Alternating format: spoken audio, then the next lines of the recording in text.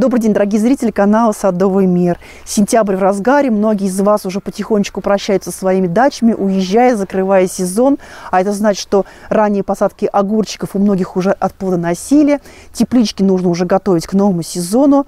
И многие из вас уже с посадками огурчиков прощаются, а это значит, что нужно обратить на некоторые моменты, чтобы в следующем сезоне получить такой же шикарный урожай, без болезней, без вредителей. Если были какие-то проблемы в текущем сезоне, нужно обязательно учесть свои ошибки и провести работу над ними, чтобы в следующем сезоне не было вот этих вот неприятностей.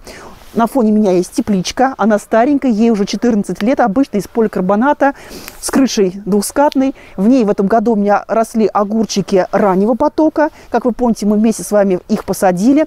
Теплицу комплектована инфракрасными обогревателями, но пользоваться я ими уже не буду, потому что в ближайшее время посадки свои аннулирую. И вы в комментариях задавали вопрос, почему она в этом году в августе в начале не посадили рассаду огурцов на третий поздний поток, который собираете, как правило, до середины октября при благоприятной погодной обстановки с подогревом и до конца октября. Все дело в том, что я тоже человек, я тоже иногда отдыхаю, поэтому у нас запланирована поездка, и мы заранее не знали, и вот такие поздние огурцы не посадили. Честно говоря, двух потоков, вот ранних и высаженных в классическое время, где-то в конце а, в середине июля, где-то ближе к третьей декаде, июня точнее, нам хватило за глаза для всей нашей большой семьи и поесть вдоволь огурцов в свежем виде, приготовить массу э, блюд из свежих огурчиков. В том числе мы сделали просто колоссальное количество заготовок. И сейчас до сих пор мы огурчики собираем. И тем не менее оставлю всего буквально две плети во второй теплице для того, чтобы родители могли приезжать, срывать их. Ведь по закону подлости, как всегда бывает, только уэллировали посадки, хочется свежего огурца. Так вот, а остальные я буду буквально на днях ликвидировать и заниматься подготовкой. Давайте проговорим по списочку. Я специально для новичков это сделала, чтобы Э, сделать грамотно обработку теплицы и на какие моменты нужно обратить внимание, чтобы на следующий год получить здоровый урожай. Дорогие друзья, давайте начнем с основы основ, с почвы. Что делать после того, как мы зачистим все наши посадки? Все свои плети огурцов я буду уничтожать. Я их сначала сниму вместе со шпалерами, свалю в кучу, грубо говоря, и потом меня муж просто сожжет, сожгет их, освободив от ПВХ вот этого шпагата. Кроме этого, у меня посадки все замульчированы. И вы в комментарии задаете вопросы, что делать с мульчей, если она у нас на грядке остается. Если у вас не было каких-то очень серьезных заболеваний, корневых гнилей, скажем так, фузариозных разных увиданий, то такую мульчу, в принципе, можно оставить на следующий сезон. Сгребсти в сторонку, пролить биопрепаратами и заниматься подготовкой почвы уже непосредственно к следующему сезону. Например, заправлять грядки э, свежими компонентами органическими, такими как компост, перепревший полностью навоз, если это у вас будут огурчики, допустим, а, какая-то подстилка из-под животных. Можно, например, сделать теплые грядки по типу компостника, для того, чтобы потом на эту теплую грядку уже весной посадить теплолюбивые культуры.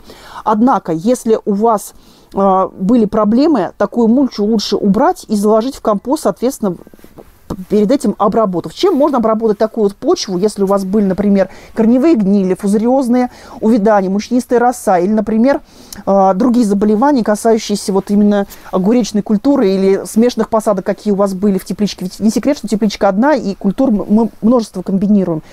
Проливайте почву по поверхности комплексом таким универсальным дезинфектором. Это универс... осенью такую обработку делаем в виде опрыскивания либо пролива медный купорос. 100 граммов на 10 литров воды. Размешиваем и раз в 5 лет делаем такую обработку почвы. Он является в том числе и подкормкой, но однако такую под... обработку делать часто не рекомендуется, поскольку медный купорос, он сильно закисляет почву. После этого нужно использовать раскислители и, соответственно, такую обработку делать только осенью. Зимой мы будем добавлять сюда снег, и со снегом все это через почву пройдет, и, соответственно, почва у нас оздоровится. Весной используем обязательно биопрепараты для заселения полезной микрофлоры в такую почву. Что сделать еще? Если у вас были проблемы, например, в виде корневой гнили, чем можно обработать почву, например, другими препаратами. Это бактофит, гомоир и триходермир, извиняюсь, говорилось. Если у вас была мучнистая роса на огурчиках, используем уже фунгицид, такие гомоир, топаз, э, фитоспорин, но он такой более слабенький, его нужно комплексно использовать в течение всего сезона. Квадрис, Тиавиджет. Вот такие распространенные препараты, которые можно встретить практически в любом садовом центре. Если у вас было фузариозное увядание, используйте Триховид, тот же самый Гамаир, Previcur Energy, очень хороший препарат, который поможет вас, и Оксихом. Вот такие препараты, фунгициды, которые мы используем для протравки почвы. Если есть возможность почву обновить, лучше это сделать. Эту почву, например, нести в компост, где она переработается у вас тоже, либо, например, э, на открытый грунт, где-то в такие посадки, например, в приствольную крону дерева, тоже с дальнейшей обработкой, а, соответственно, здесь внести свежие компоненты. Какие самые частые распространенные вредители атакуют наши огурчики в течение сезона и от чего стоит обработать нашу теплицу, в том числе и почву. Это тля, белокрылка и паутинный клещ. Если у вас была белокрылка, используйте следующие инсектициды для обработки теплицы. Загляните в каждую щелочку. Если была белокрылка, обязательно сохраняйте свои посадки. Ведь а, а, пока они живы, вредитель питается листочками, высасывает сок, и, соответственно, таким образом вы сможете убить взрослые особи и, скажем так, в промежуточной стадии личинки. Как только вы удалите растения, бороться с белокрылкой уже бесполезно. Какие берем инсектициды? Это конфидор, циткор – фитоверм и тепеки. Эти препараты действительно помогают нам в течение сезона, и сейчас еще не поздно их применить.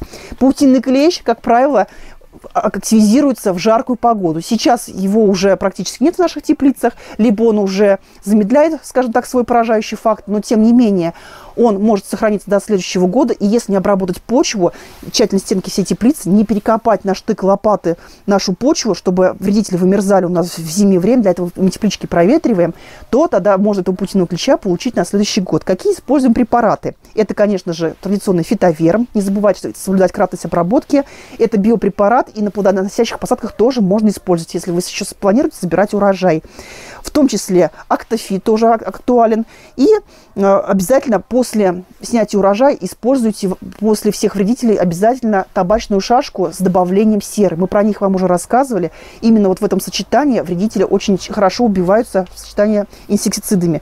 Тля а, посещает наши огуречные посадки, и против нее такие препараты эффективны, как искра, кинмикс, энтобактерин, карате и в том числе табачную шашку, по которой я вам только что сейчас сказала. А если вы используете сетные шашки, то защищайте свои конструкции, потом обязательно покрасьте, либо, соответственно, промажьте их каким-то смазывающим составом. Тоже очень эффективная обработка. Вы спросите, довольны ли я в этом году урожаем? Очень. И сейчас уже, скажем так, убитые посадки огурцов свидетельствуют о том, что пора заниматься теплицей. И я хочу напомнить, что в течение всего сезона, начиная с рассадного периода, я использовала вот такое удобрение фертика фертика лив павер, начиная с выращивания рассады и раз в неделю делала подкормки по листу и подкорм, чередуя их с органическим. Благодаря этому уже второй год я использую его на протяжении всего сезона, я получаю отличный урожай.